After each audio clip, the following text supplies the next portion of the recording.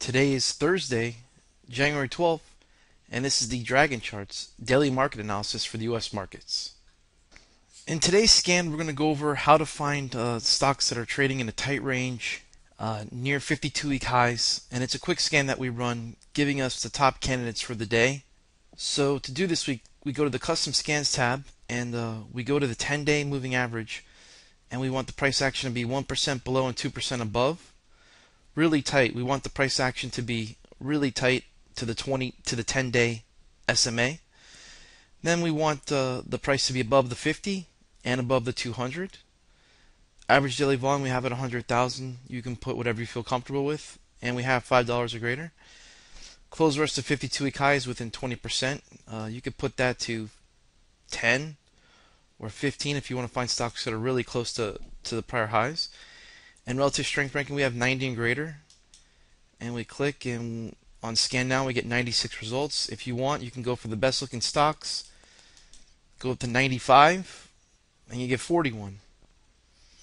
So we've already scanned through the list of uh, 41 stocks and found a few setups that we like for today. So let's go to the charts. First up, AKRX.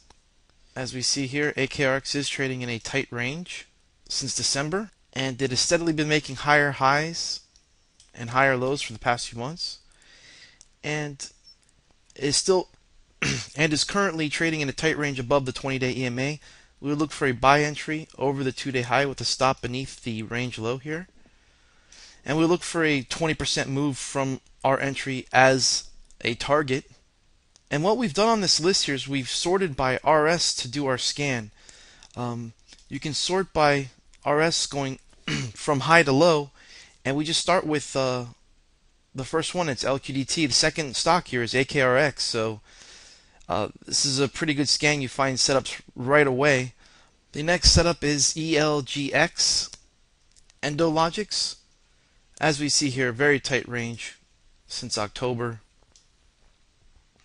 Really tight price action.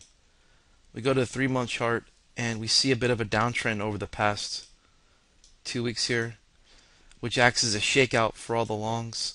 We would look for a buy entry. Let me clean this chart up here. Look for a buy entry above the two day high with the stop beneath the three day low. And we'd also look for a gain of about 20% or so from our entry as a target.